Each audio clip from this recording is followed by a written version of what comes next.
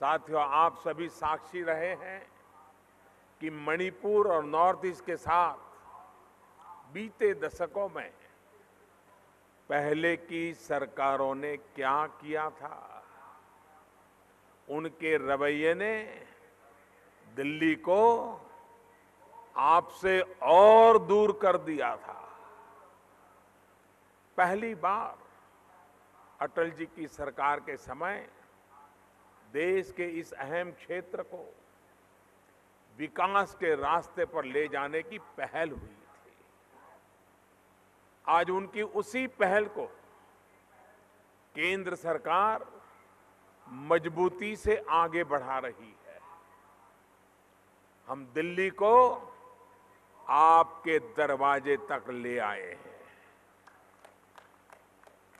अब पहले की तरह केंद्र के मंत्री और अफसर सिर्फ़ फीता काटकर उसी दिन दिल्ली लौट नहीं जाते हैं।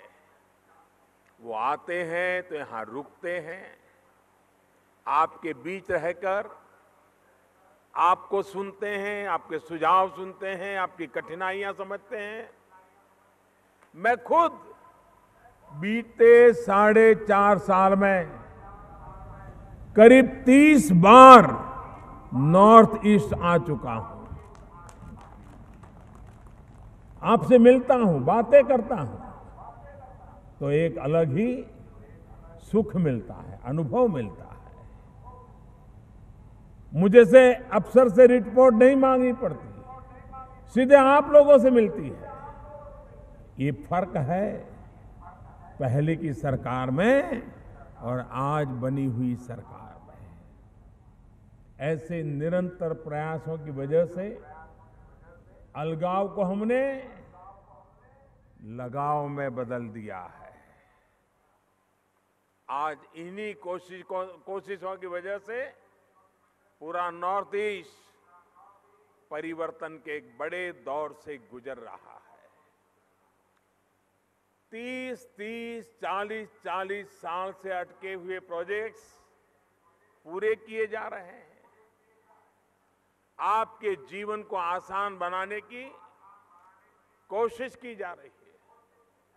अगर मैं मणिपुर से ही एक उदाहरण दूँ तो यहाँ के एक गाँव का नाम भारत की विकास यात्रा में अहम पड़ाव बना है।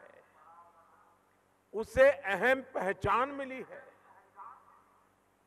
साथियों देश के जिन 18,000 गाँवों को रिकॉर्ड समय में अंधेरे से मुक्ति मिली उनमें सबसे आखिरी गाँव कांग पोकपी इस ज़िले का लेशांग है लेशांग जब भी भारत के हर गाँव तक बिजली पहुँचाने के अभियान की बात आएगी तो लेशांग और मणिपुर का नाम भी ज़रूर लिया जाएगा।